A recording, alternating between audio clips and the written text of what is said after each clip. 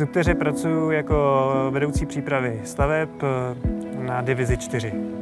Já jsem vystudoval ČVUT v Praze, fakultu stavební.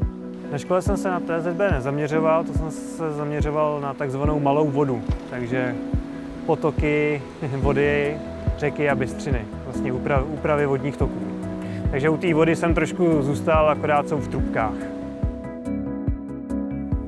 Do Subtery jsem se dostal vlastně přes uh, moji kamarádku, která nastoupila měsíc přede mnou a říkala mi, jak, jak to je v Subteře super, že jsou tam hodně fajn lidi a já jsem byl vlastně v současné práci nespokojen, takže jsem ji uposlech a šel jsem do Subtery.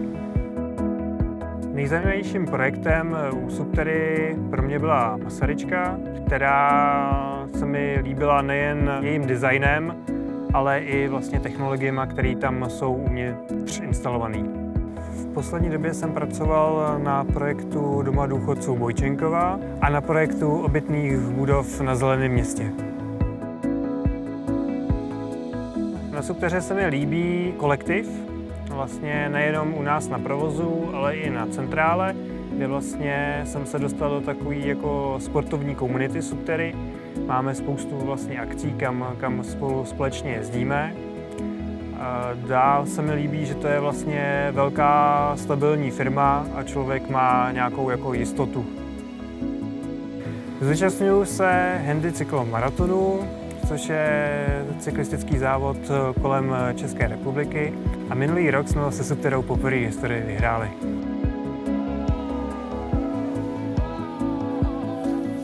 Na kole závodím od 20, jezdím hlavně bajkové závody, občas i na silničce. Pro mě kolo znamená vlastně volnost, že si člověk může jet kam chce. Znamená pro mě i dopravní prostředek. Když to jde, tak jezdím na kole do práce každý den, eh, eh, prověrám si před prací hlavu, vymyslím spoustu nových věcí a vyhnu se zácpám. Subtera.